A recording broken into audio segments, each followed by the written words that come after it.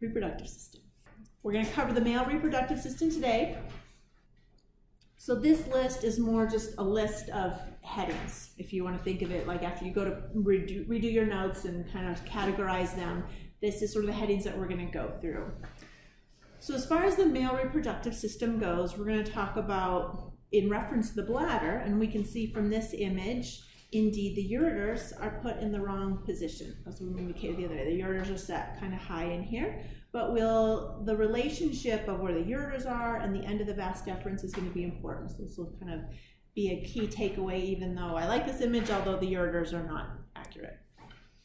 So we'll begin with the testes. That's where sperm is made. So they're contained within the scrotum, which is just the outer skin covering. It's going to be outside the torso. For ideal or optimal sperm production, the temperature um, of sperm production needs to be lower than normal body temperature. There is a surrounding muscle actually that lines the scrotal skin that actually gives it its wrinkly appearance that helps regulate temperature for the testes. That's actually known as the dartos muscle around the testes specifically, so this is the testy portion, we're gonna talk about the epididymis later, but the testy portion, it's contained within kind of a, more of a rubbery feel capsule known as the tunica albuginea. And then inside the actual part of the testy that's making sperm are the seminiferous tubules. So that's really what we're gonna be focusing the majority of our efforts on.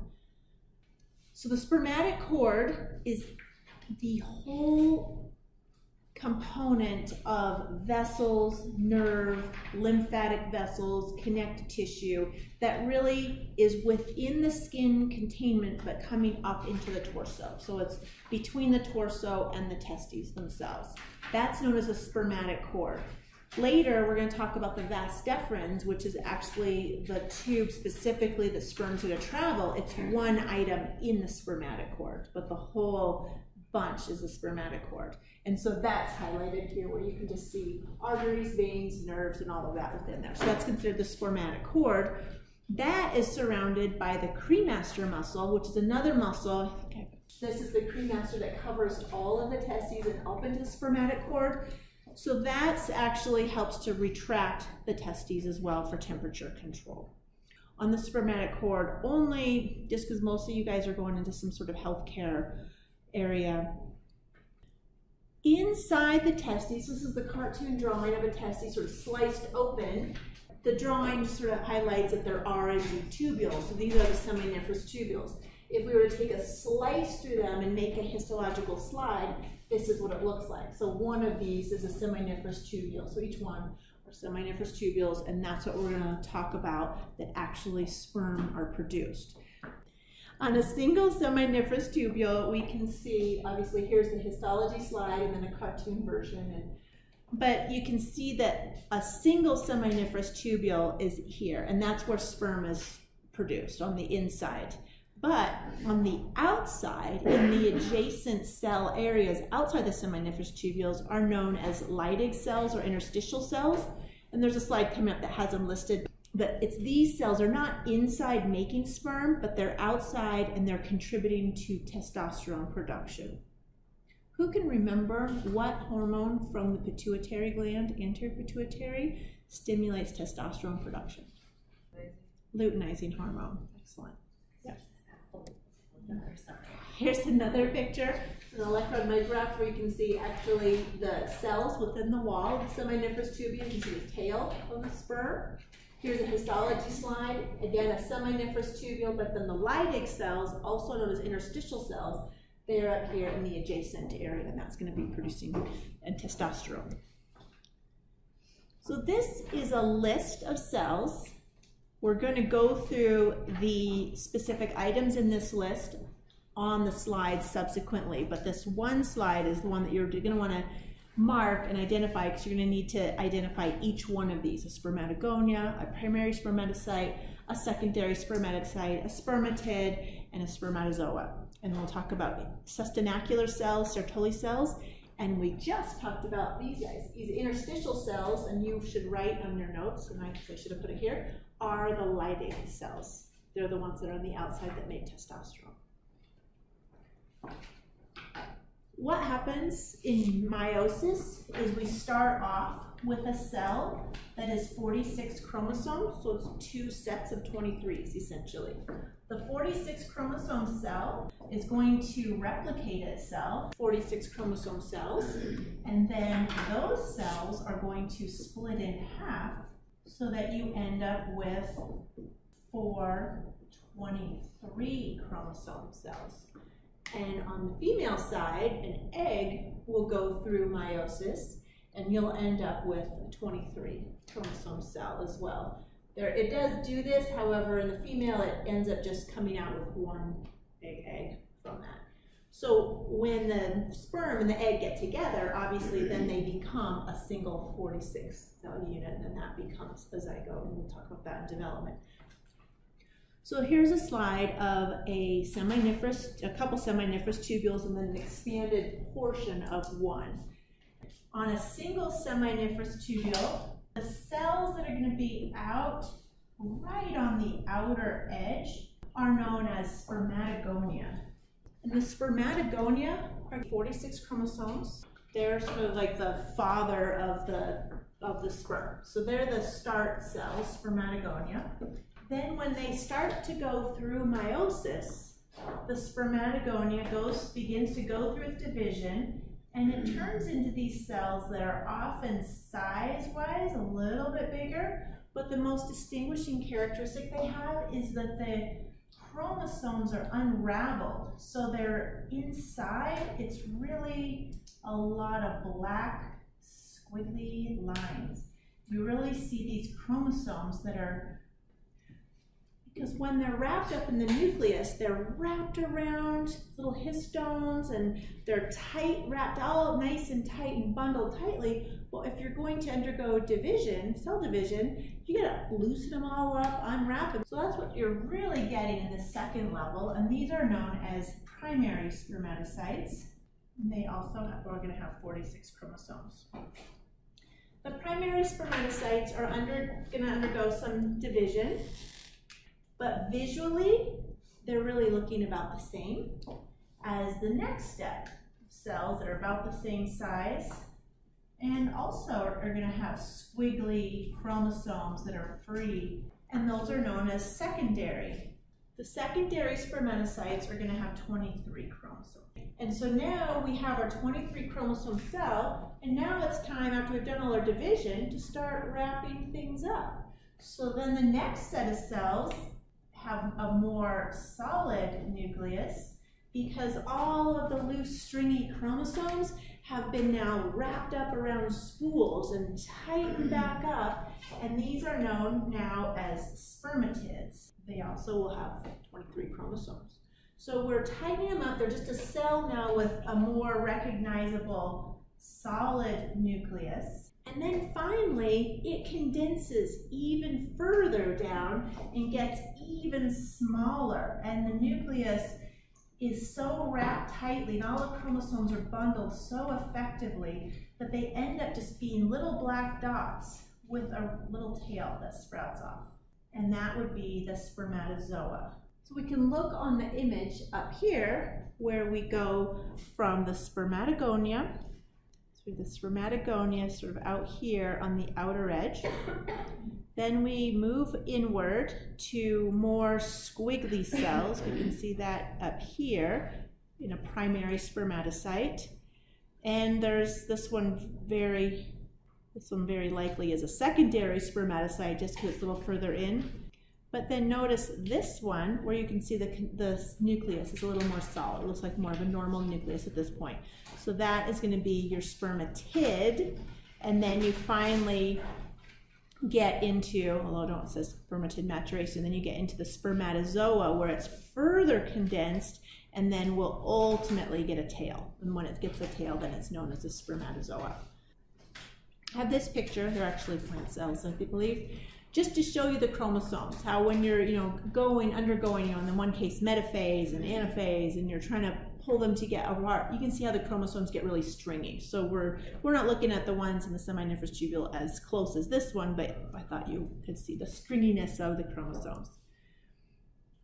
you don't have to know this. This is more just me showing you from the point of the DNA, where the DNA is, you can see where it's wrapped around these little chromatin and histones, and you're really wrapping and bundling so effectively that you actually shrink it down by a factor of about 10,000 until you finally get it into a single a chromosome in there. So you really have a lot of loose things out there that is amazingly and quite effectively packaged up.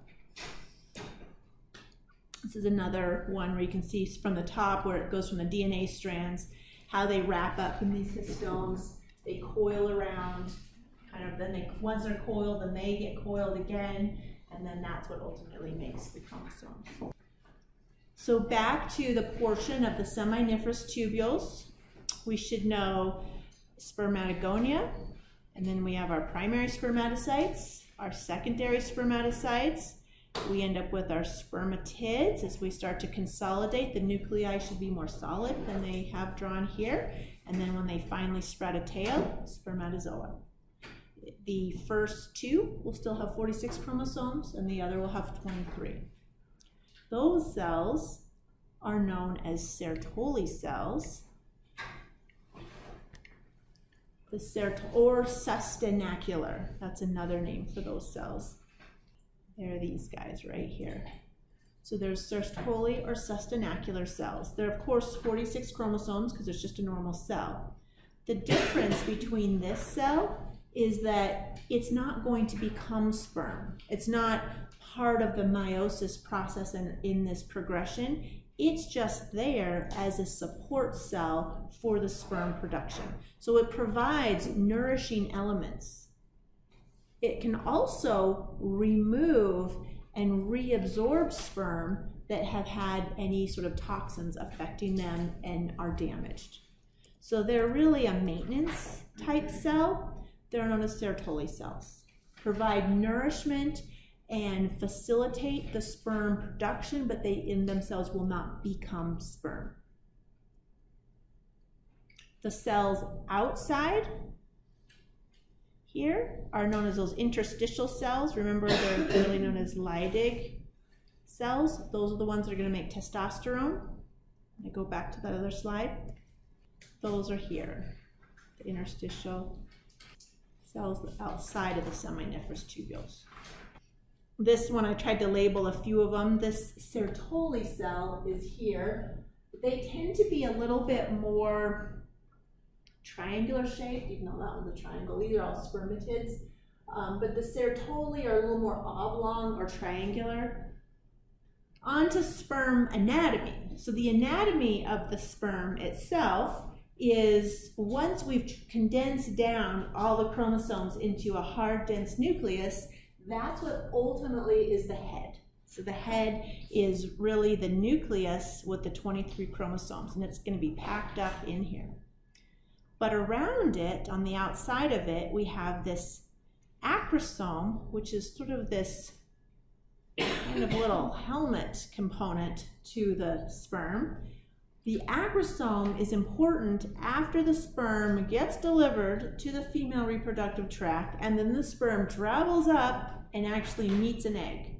When it meets an egg, the acrosome, it sort of bumps into the egg and the acrosome is discharged in order to try to penetrate the outer barrier, the protective barrier on the egg. So they have to discharge the acrosome in order for the nucleus, the chromosomes, to get into the egg and then ultimately fertilize the egg. So that's why the acrosome is important. The mid piece is really the powerhouse. It's like the motor of the sperm. So the mid piece has a lot of mitochondria in there because this is what actually is going to give sperm the movement. This is the motor where the tail is actually going to be then moving because sort of like a tail is a, like a whip. It's just an inanimate object unless you put energy into it to cause it to move. And so that's the mid piece's job is actually for propulsion and then it moves the tail and the, the response of the tail is obviously to, to generate forward flow. So the important component to think of is the mitochondria, we don't want it activated. Once sperm is made, we really don't want the mitochondria to be propelling it anywhere until the moment of ejaculation.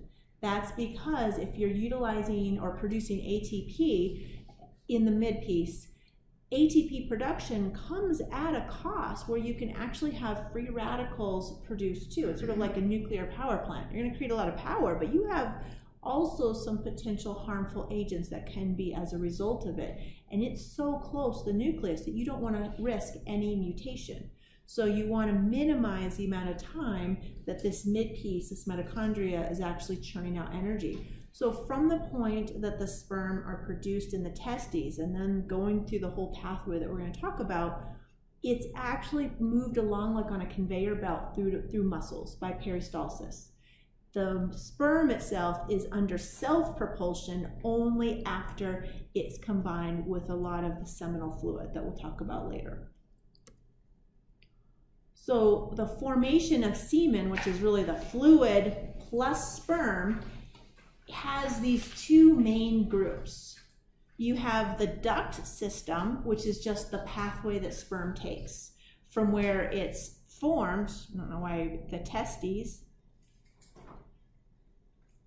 make sperm, and then it's moving through the ducts beyond that. The epididymis, the ductus deferens, also more commonly known as the vas deferens, the ampulla, which is the end of the vas deferens, is going to be the holding storage tank for the sperm until it's ready to leave the body. The ejaculatory duct and the urethra are the pathway of it to go out. We're also going to then talk about the accessory glands that are going to contribute to fluid along the way.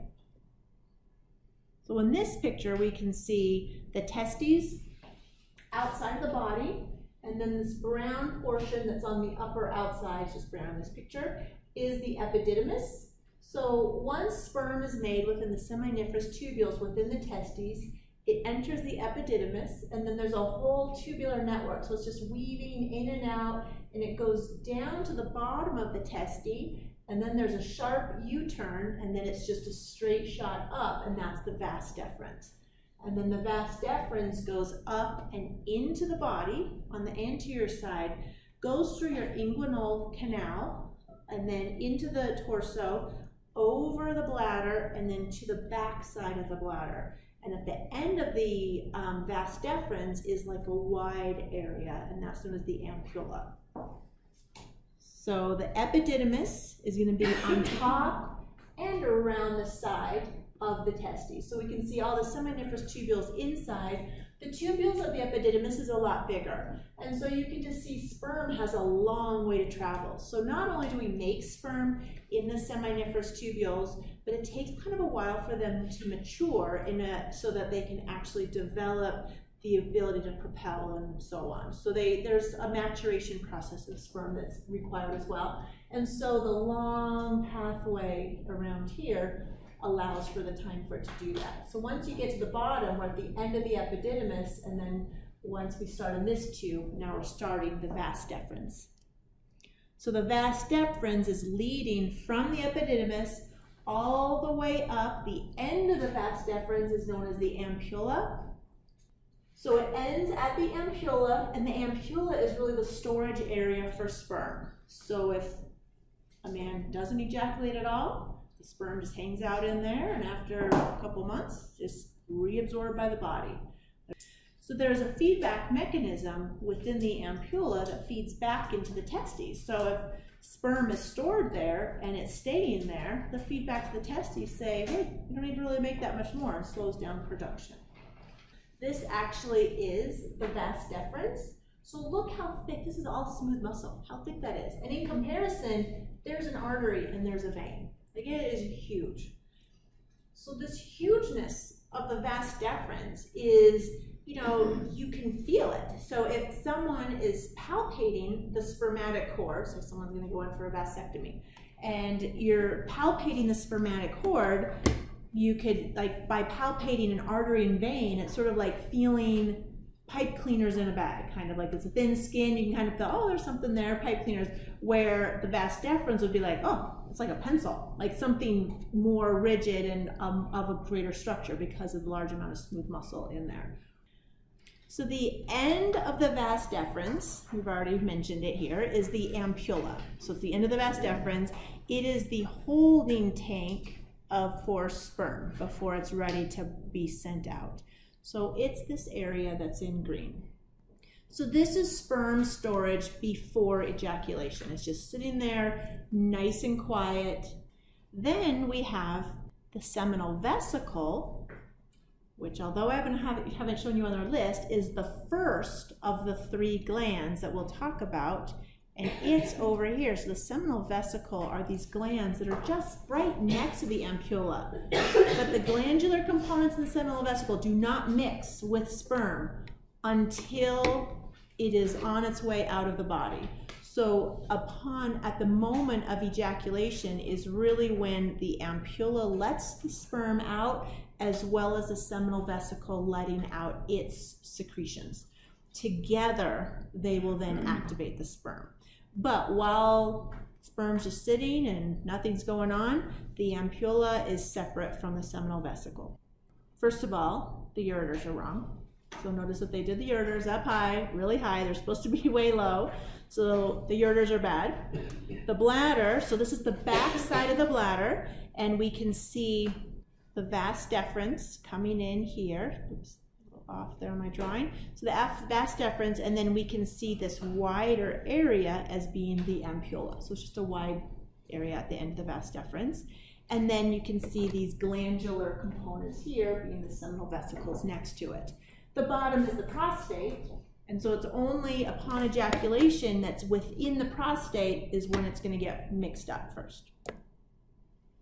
So the two groupings that I want you to think of is we did the duct system is just this is the path that sperm takes. So we've gone up and we're at the point of the ampulla. That's where it's sitting, waiting, not activated. And then it's really these last two, ejaculatory duct and the urethra, that it's going to get mixed with seminal fluid and it's now activated, but it's on its way out. So now we'll go over to the accessory glands to actually figure out what's contributing to it on its way out. So from this slide, we know that we have the ampulla where sperm is at, and then we have the seminal vesicles, which is going to be our main contributor of the fluid. Again, with the ureter not being in the ideal, the proper location. So we have vas deferens coming in, and we have the ampulla, put like a little A, A here. The ampulla there, and the secretions from the seminal vesicles, they will mix, put that in purple. So in purple, they're going to mix together as they go down into the prostate itself. So not only are the seminal vesicles going to add the fluid to mix with the sperm, but then the prostate itself is going to add its components to the fluid as well. And then, so this is the prostate. It's not on this list, it's on another list, but I'm going to point it out just because we can see it. These little guys here at the bottom, see those two? Those are known as bulbourethral glands or Cowper's glands. The big picture story on this, as far as the three glands go, is those little bulbourethral glands, also known as Cowper's glands, are at the base of the penis. And what they do is they're the first ones actually to secrete any substance. And what it does is it secretes and allows the fluid to go down through the penile urethra that will neutralize any acidity that might be remaining from any urine because urine's mostly acidic most of the time. You know, people can get pretty alkaline urine if they're really vegetarians, but urine tends to be on the more acidic side. Acidity can cause a lot of damage to the sperm. They don't have any real protection around them. So the Cowper's glands or bulbourethral glands will send a substance that's going to neutralize and sort of pave the way for the any sperm coming after it. And then it also helps for lubrication it is upon ejaculation that you're going to get the components from the seminal vesicles and the prostate gland. That's what's going to contribute more to the volume of what's coming out. So the ejaculatory duct is actually the first place that sperm and seminal fluid mix. So now sperm's going to get activated, and that is this little pathway here. So this is a side view. So the other views we saw were straight from the back. And essentially, if we're looking at the bladder, and you have the ampullas on two ampullas, and then each ampulla has its seminal vesicles next to it. The two together go into, so we have two ejaculatory ducts coming from the side, back part of the prostate to meet up with the prostatic urethra in the middle. So this picture just shows you one of them. So it's coming down to then meet with the prostatic urethra, bringing the blood, urine straight across.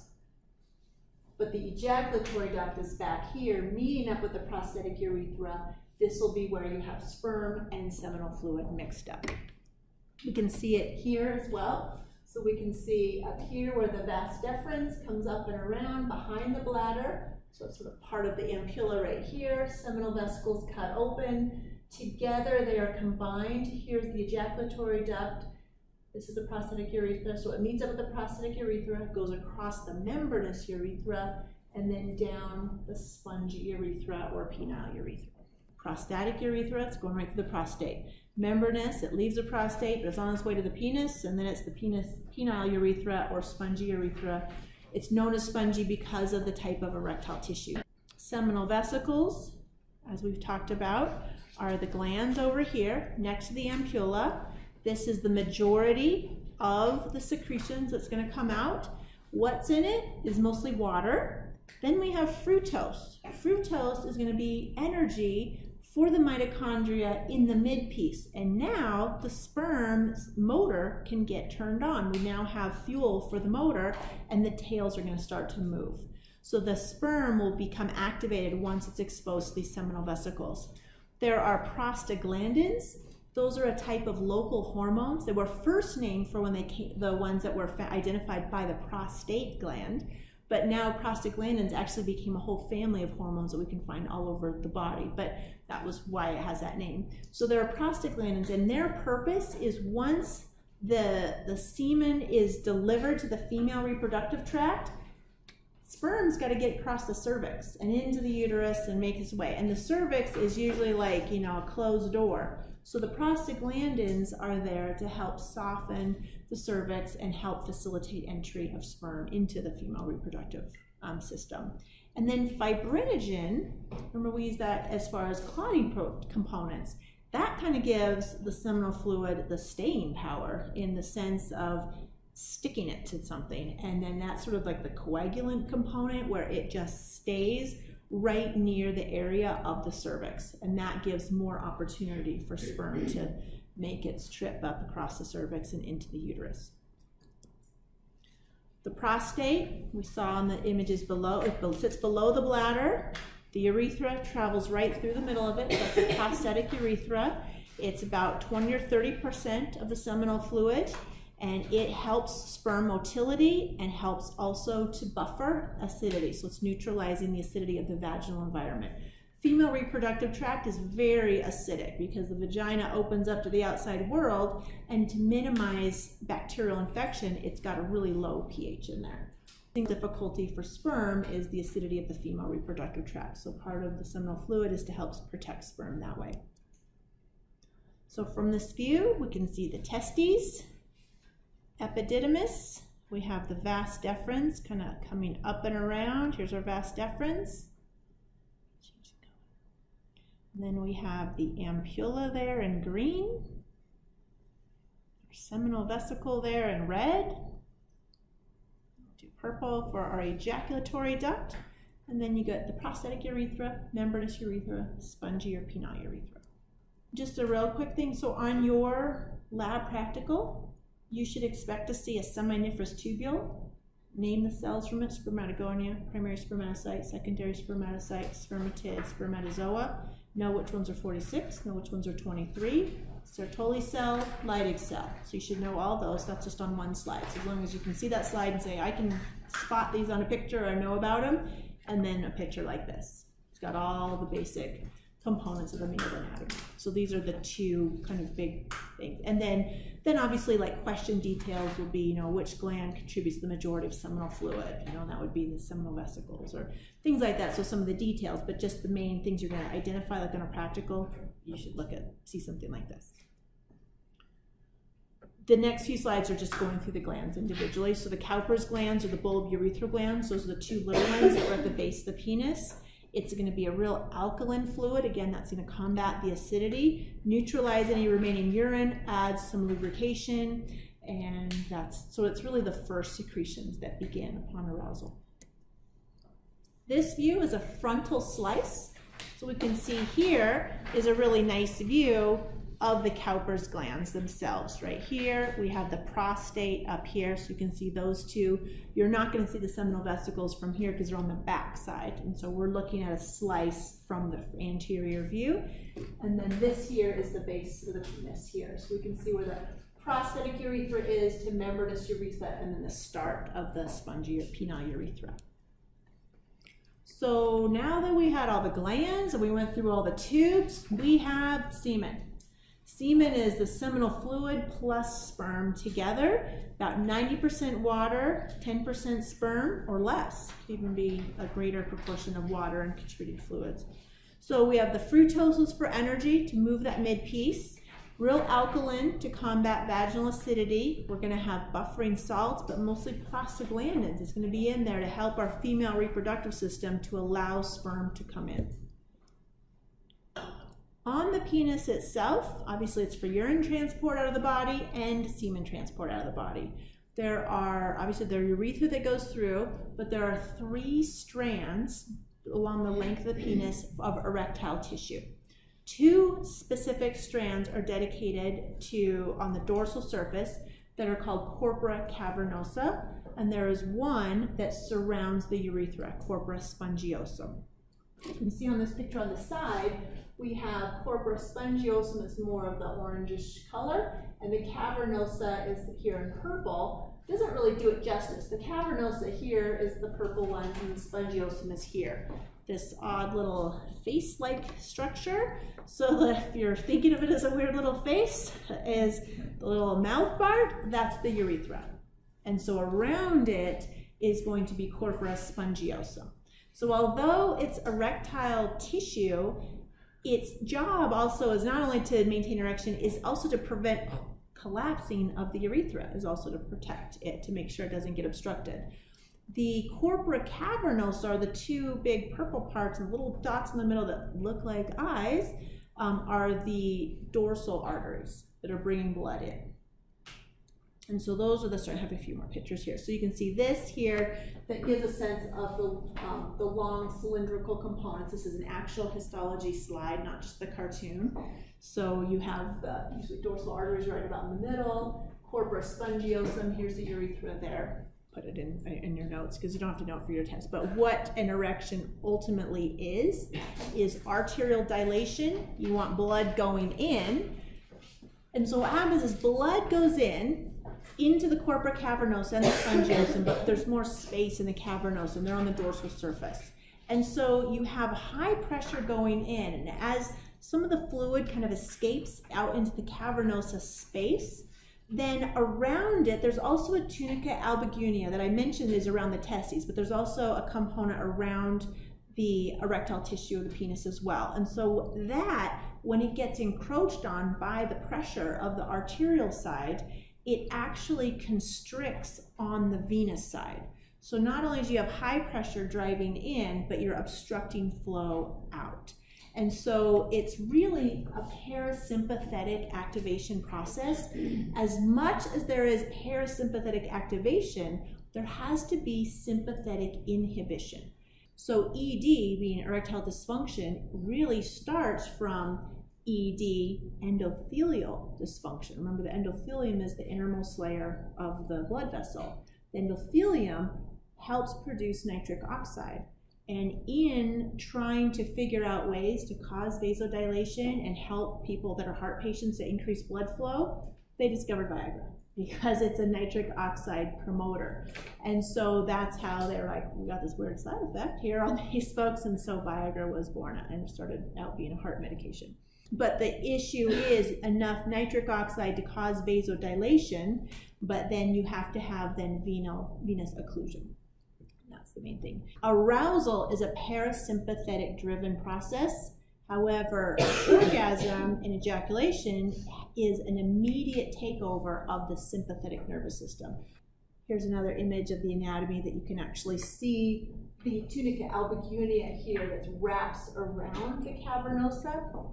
But this picture, you can see that they're more like long cylindrical strands. The last thing we're going to go through is the hormonal regulation. From the anterior pituitary, there are two hormones. The two hormones that you need to know are going to be follicle stimulating hormone and luteinizing hormone. Follicle stimulating hormone follicle stimulating hormone is going to target the spermatogonia cells. Follicle stimulating hormones and target spermatogonia cells to make sperm.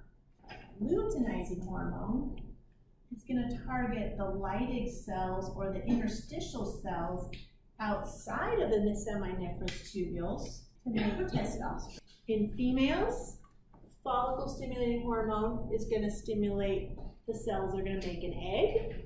And in females, luteinizing hormone is going to stimulate the cells that will make estrogen. So they have parallel functions. That's obviously just specific to the gender. Another slide cross-section of the seminiferous tubule. We have from the anterior pituitary in blue, the follicle stimulating hormone is going to target spermatogonia, which are around the outer portion of the seminiferous tubules and the action of sperm formation. On the green side, luteinizing hormone from the anterior pituitary is going to target the Leydig cells that are outside of the seminiferous tubules for testosterone production.